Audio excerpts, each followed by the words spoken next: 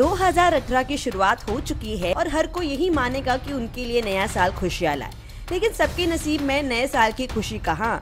नए साल टेंशन का पहाड़ ले आया है ऐश्वर्या राय बच्चन के लिए, जहाँ 29 साल के एक आदमी ने ऐश्वर्या को अपनी माँ बताया।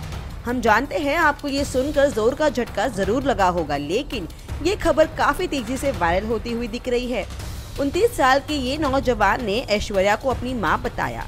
विशाखापट्टनम में रहने वाले संगीत कुमार के नाम के बाद राय शब्द आता है और इन जनाब का ये कहना है कि ऐश्वर्या ने उन्हें 1988 में लंदन में आईवीएफ के ज़रिए जन्म दिया था। और तो और ये शख्स का ये भी कहना है कि ऐश्वर्या के माता पिता ने उनकी खूब देखभाल भी की थी। एक रिपोर्ट के दौरान इस शख्स ने बताया कि ऐश्वर्या ने इनके परिवार को छोड़कर 2007 में अभिषेक बच्चन से शादी कर ली थी। लेकिन इससे पहले ये चीज़ आपको और फनी लगे, हम आपको बता दें कि 1988 में ऐश्वर्या केवल 14 साल की थी। फ़िलहाल ऐश्वर्या बिज़ी है फनी खान की शूटिंग में, जहाँ वो राजकुमार राव और अनिल कपूर के साथ दिखेंगी। अब ये देखना काफ़ी मज़ेदार होगा कि ऐश्वर्या के साथ साथ पूरे बच्चन परिवार का इस खबर पर क्या रिएक्शन होगा। बॉलीवुड की लेटेस्ट न्यूज़ एंड गॉसिप के लिए हमें सब्सक्राइब ज़रूर करें। 2018 की शुरुआत हो चुकी है और हर कोई यही मानेगा कि उनके लिए नया साल खुशियाँ लाए।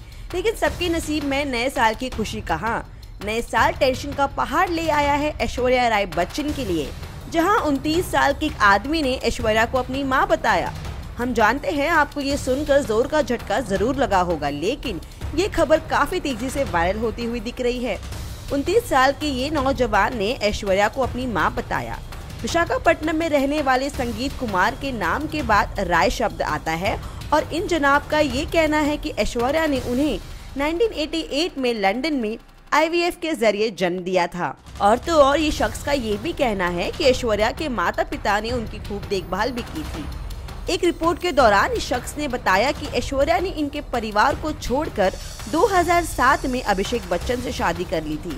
लेकिन इससे पहले ये चीज़ आपको और फनी लगे, हम आपको बता दें कि 1988 में ऐश्वर्या केवल 14 साल की थी।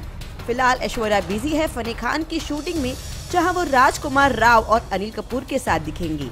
अब ये देखना काफ़ी मज़ेदार होगा कि ऐश्वर्या के साथ साथ पूरे बच्चन परिवार का इस खबर पर क्या रिएक्शन होगा। बॉलीवुड की लेटेस्ट न्यूज़ एंड गॉसिप के लिए हमें सब्सक्राइब ज़रूर करें।